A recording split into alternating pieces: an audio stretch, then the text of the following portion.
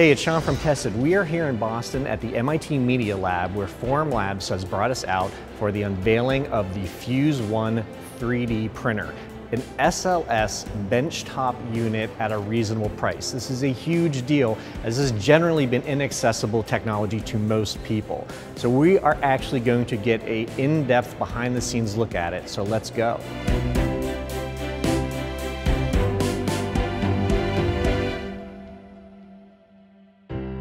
We are here in Boston at Formlabs HQ to look at one of the biggest announcements in 3D printings for a long time, the Fuse One.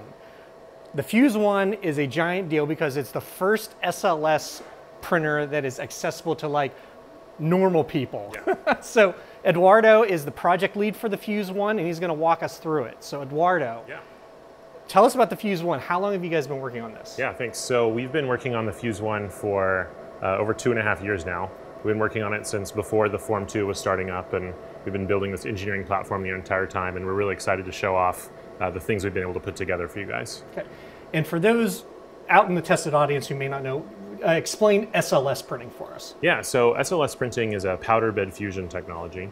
Uh, you take these nylon spheres that are about 50 microns in diameter, you spread those out over a bed, and then you heat everything up to just below the melting temperature. Mm -hmm. From there, you hit it with a laser, scan the layer uh, on the bed, and then those spheres fuse together, which is why we call it the fuse one. Mm -hmm. And uh, then you have a cross section of a part, and you can repeat that process over and over again until you have a fully 3D printed part. And explain explain everybody the advantage of uh, the powder nylon yeah. printing because there's some distinct advantages right. of that over even something like the Form 2, which is using resin or FDM printers that have to have supports. Yeah, so there's two big advantages that you get with SLS printing. The first one is that you print parts out of nylon.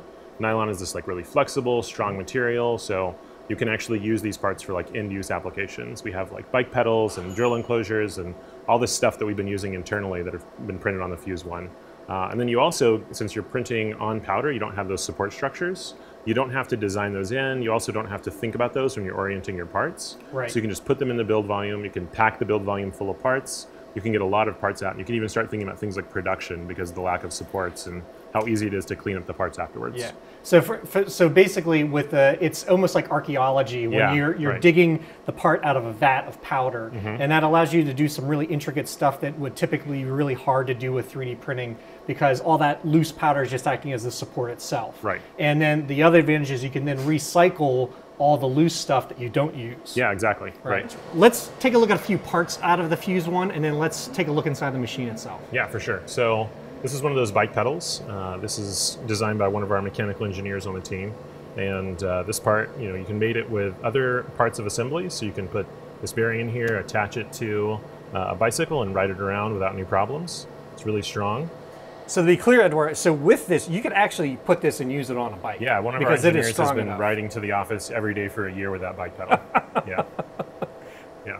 Okay, let's take a look at something else. Yeah, so since you can do really intricate uh, parts you can actually. Oh, I know print. what that is. Yeah, you can print entire things in one go. So this is a, a, design for a gauntlet that one of our engineers made for one of his cosplay uh, things that he does. Oh, we're, we're well familiar with yeah, that. Yeah, I think you guys know yeah. about that. Um, so this was actually printed as one part.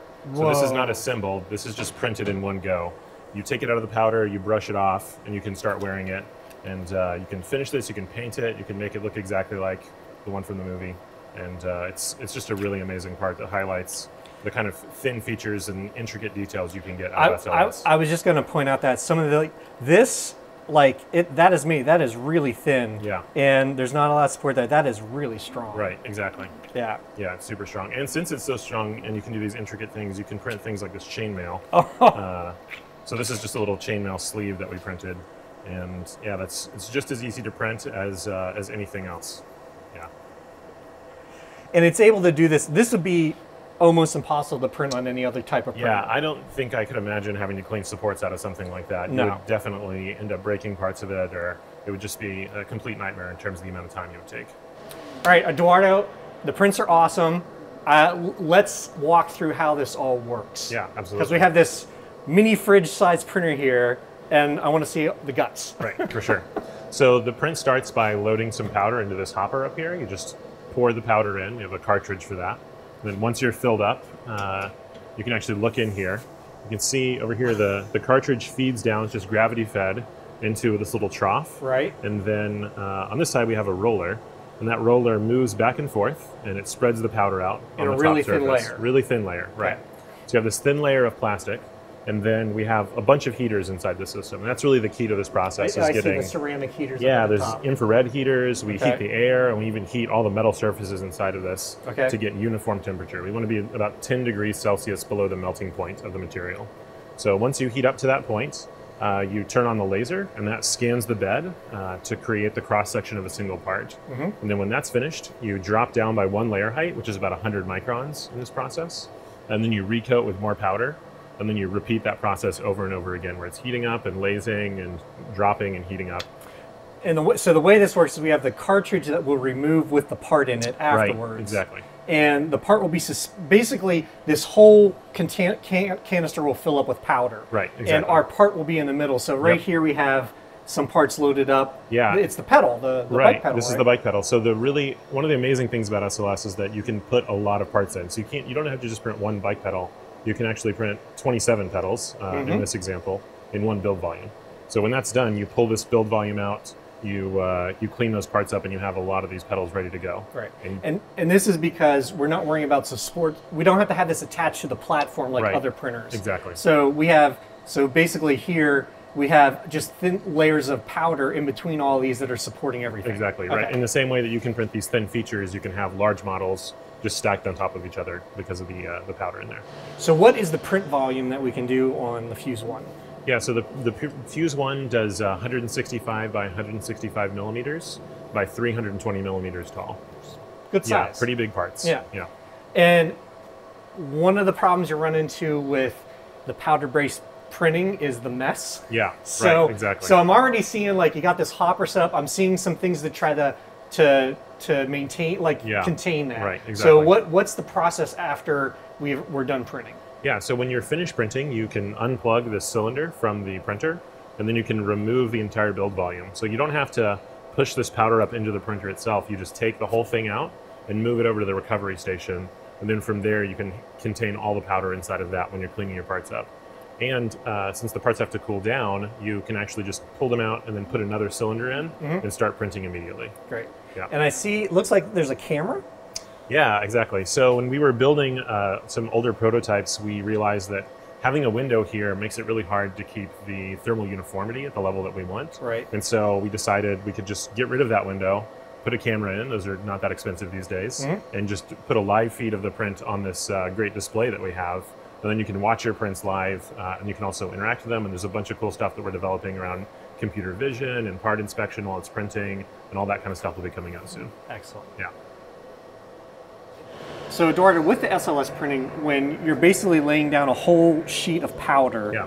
and only part of that is actually melted together to form the model. Yeah. How how is it distributing more powder on top of that without disturbing anything below that? Right. Because you're talking about like what microns. Yeah, 100 microns, right? It's just two particle diameters actually per layer that All you're right. printing. So how is it doing that? yeah, so there's a couple key things. The first is since we're at such an elevated temperature, the the particles that are sitting there, they're not loose and flowing. They actually like start to stick together a little bit. Okay. Uh, and that gives you some support, right?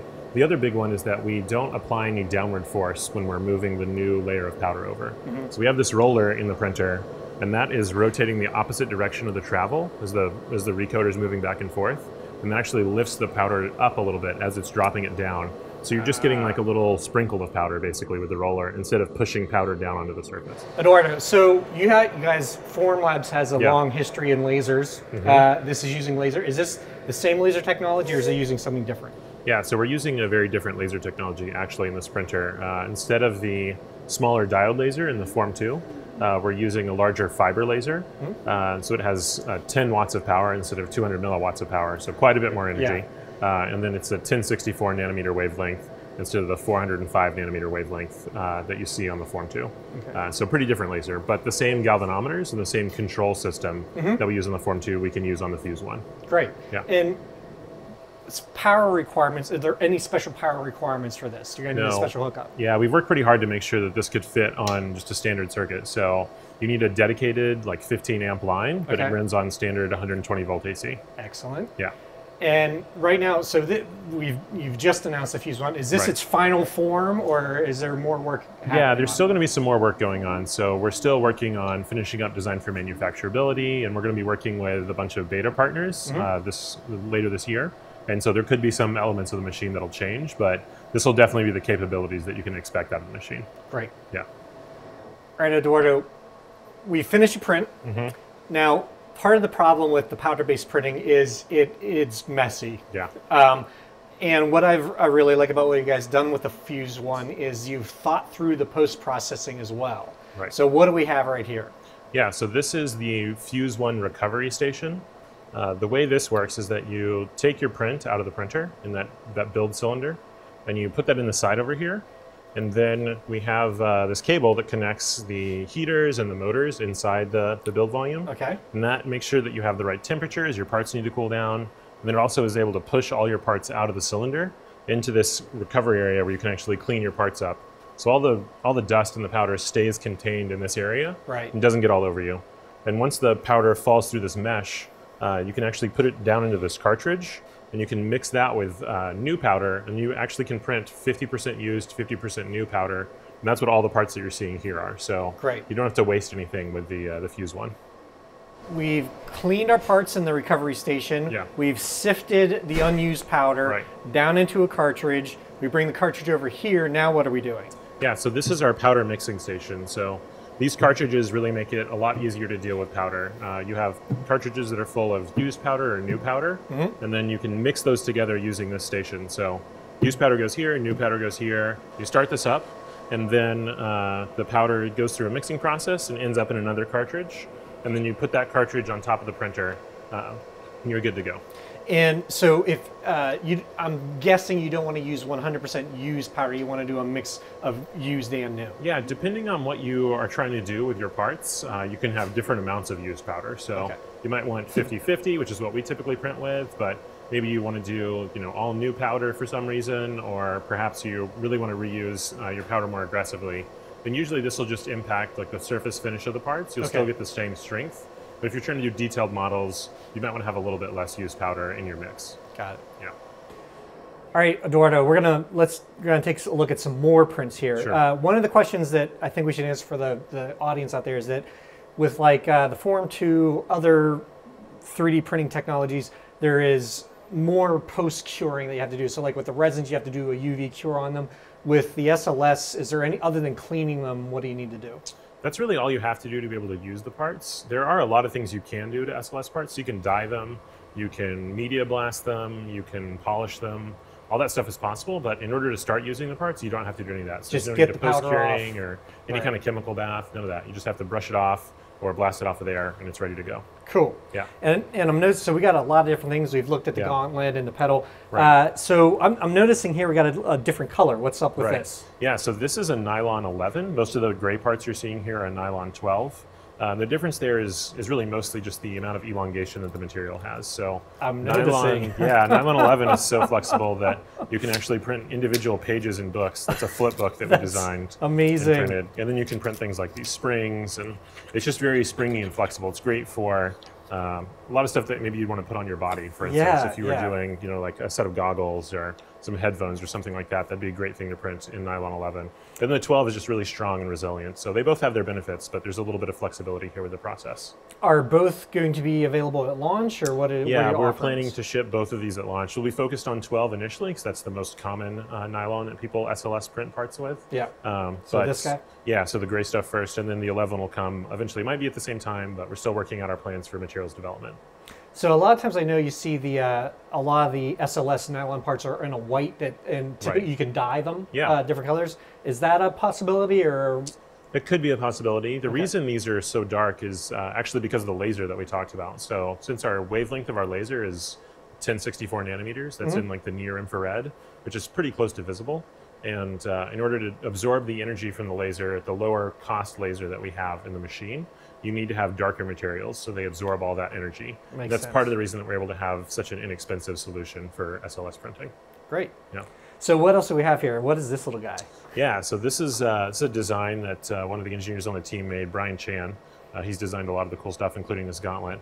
And this is again printed as one part, and then we added this little Really? motor onto it. yeah, and uh, if we plug that in, you can actually see it walk across the table. Oh yeah, let's uh, let's get that no going. problems. Yeah, Adam would love this. It's a great little part. Yeah, I really impressed with that thing. Yet another example. This is right out of the printer. Yeah, chains right out of the printer. Uh, no need for assembly. Uh, you're just good to go as soon as you pull I, it out. I love that it even has this. yeah, a little clasp. Right. That's amazing. Yeah. Well, you're not going to get on your bike otherwise. No. um, cool. Then we've got like this, this crab here. So this is printed by uh, by Brian Chan, who designed the other crab, and just incredibly delicate features that you can do with SLS printing.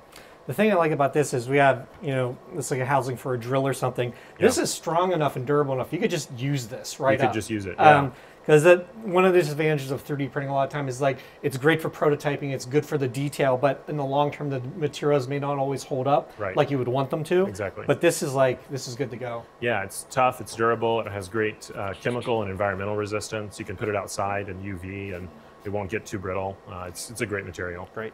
I've done some SLS printing in the past. Now, it's always been the one interesting thing about the SLS, there's not a lot of SLS machines out there. Right. Exactly. Um, EOS is the big one that probably everybody knows. Shapeways uses them. Uh, and I've printed a few things. This is one of my prints. So I sent this Yep. to you guys. This Yeah. is my Buckaroo Banzai jet car. Yeah. And uh, so we sent it as a test print. I am blown away. I've printed this over and over again. All the detail turned out great all the wall thicknesses are right on, it's strong. And this is kind of like, it's got a lot of stuff that is a good uh, guide for how well it prints because it's a, it's a tough print, yep. just as it is because of it's how complex it is and how many angles. So check right there because we got all the support. Uh, a lot of detail on the back and everything. But like things like the tire treads, even this stuff came out, and like when that comes out, I know we're doing good. yeah, you know, we've worked really hard to get the uh, the detail on this to meet or exceed the level that you'd get from uh, 200,000 or million dollar SLS printer, uh, all for you know just under $10,000 for the Fuse one. Yeah. So I brought along as a comparison. This is my Shapeways yeah. EOS print. Yep. And I got to say, side by side, it holds up extremely well. Yeah. So this is this is one of the ones that was dyed yeah, nylon right. or whatever. Yeah. And uh, I the the detail the details just are spot on. Eduardo, thank you for the tour of the Fuse One.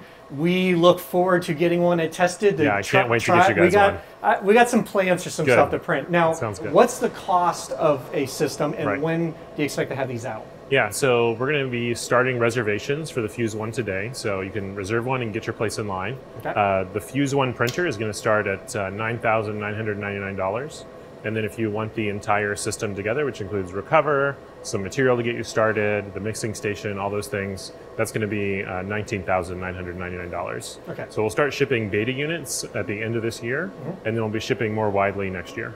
Great. Yeah. And just and to be clear, this is the type of thing. If you're doing like mass production, like had a lot of these, you'd buy the the processing stations as like you probably need one of those. Yeah, you'd probably only need one of those for every several printers. And then right. and then additional printers to go with that. right, exactly.